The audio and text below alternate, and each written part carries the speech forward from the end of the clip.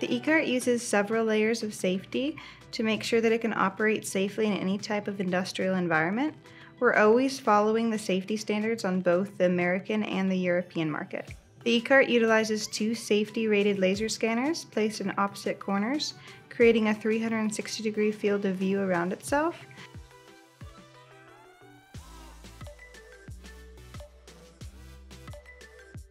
So every time a person or an object enters the field of view, the laser scanner will detect it and react accordingly.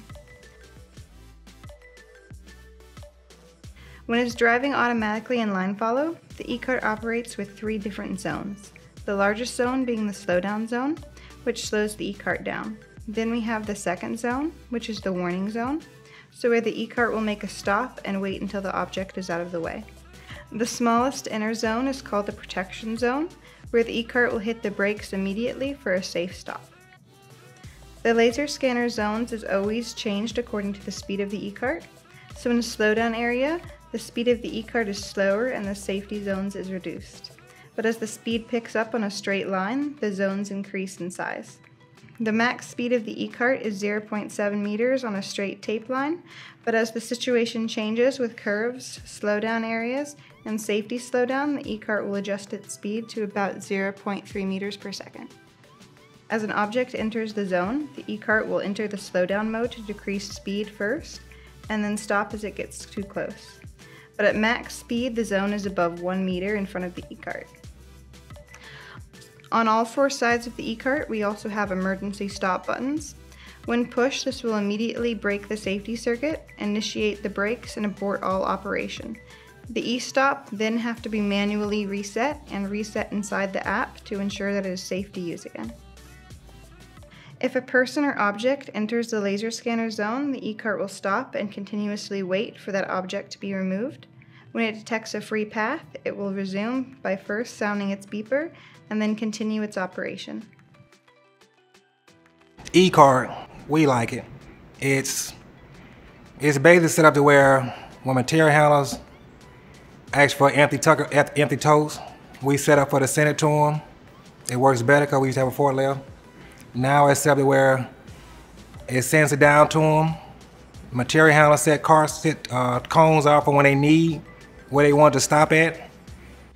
It makes it easier because at once it was a two-man job. Now one person can actually do the job and it helps safety-wise for us. Before we had a manual cart, we had to drive down there and that eliminates one of the people from being in the back. At this point, the eQart takes it down there for us. Now we don't have to go. Each individual material handler set up a cone for where they want their toast to go to. After they get done, they send it back with the finished goods. Same way, when it comes back to shipping, we take them off in advance before it gets back there. We ask them in advance, do they need, what other toast do they need to stay ahead of them? And after it gets back, it's just like a repeat process. Load and unload finished goods and empty totes. So the cart, as a part of a series of additional tugger carts that we have applied, it's allowed us for the material handlers to not have to touch the material. They hook it up to a cart, it sends down uh, to the other end, which we then uh, take it off this cart and put in finished goods. So there was a labor savings there. Um, it allows for a much safer environment. Uh, a tugger driver himself is more apt to be in a hurry if he's behind. He's more apt to maybe vary a little bit off the path uh, and put himself at risk or somebody else as He's trying to get around something. This forces there to be nothing in its way, and it forces everybody to do the things the right way so that it goes around its path on time. So the eQart's a modular task form that we're able to automate using what we call smart building blocks. We have LED modules on each of the corners of the eQart. We have a brain module in the center. We have two drive motors, a swappable lithium battery, a tow hitch for towing, and a tablet stand. And you can actually build any one of our top structures on top of the eQart. So on the brain module, which I mentioned, we have two cameras, one in the front and back. Those perform the line follow application. So with our brain module, it's only reading for the color contrast of the tape. So it's not following any kind of magnetic strip or any kind of special tape. It's essentially just looking for that color contrast.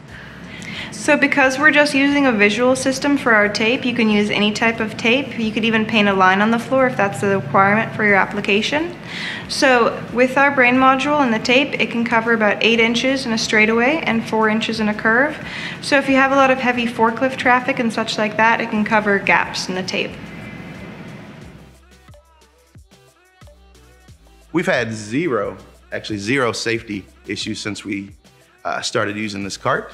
Um, functionally, it actually cost as much as a tugger did, so that you had to drive. So we've sent one of those away.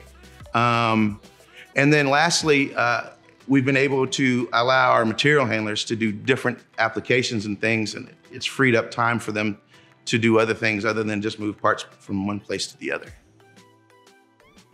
So first I would say that it's the ease of setup, right? And it's the function that it has. So you lay a layer of tape, the cart follows itself. Uh, you can pre-program stops into it with an RFID card, or you can just drop cones like we use in the majority of our plant for it once this, where you want it to stop. Um, on the affordable side, this cart, I would say, is a third of the cost of most, most carts out there. Um, it has ease of use. If there's a repair needed, uh, it's something that I can do myself, and I'm not sure I could do much on a car.